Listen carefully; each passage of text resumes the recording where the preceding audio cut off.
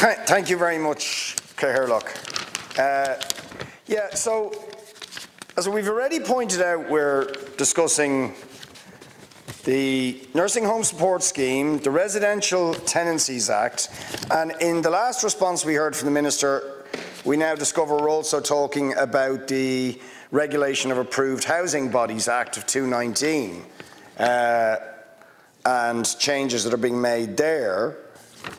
And we won't even get to discuss the changes to the affordable, the amendments that have been introduced at the last minute by the government to the Affordable Housing Act. We won't even get to that. The committee meeting.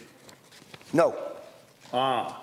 that I wasn't. That, that was a mistake. You should have been in attendance. I wasn't. Now, and you could have you could have dealt with all that there because this is not the forum for it at all. Oh, I'm sure there was objections to this carry well, on. you're sure about that. I'm sure- I'm sure. But you can't be sure. I'm sure, I'm sure. And I, I, No, no, you're not I- sure. Yeah, but no, please resume your seat. You're really acting now. I'm not. You I'm- know that yourself. I'm deadly serious. You know that you were serious, but you weren't there. I am deadly serious. When the business was taking place, you weren't there.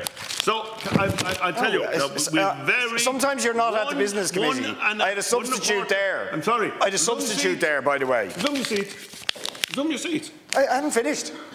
Pardon? I hadn't finished. I want the minister to explain Oh, no, the changes we to the Affordable Housing time. Act. We don't have the time. I'm shortly going to put There that you question. go. So the Dáil has never discussed the I'm amendment sorry, to the Affordable. Housing Act These are amendments all. from the Seanad.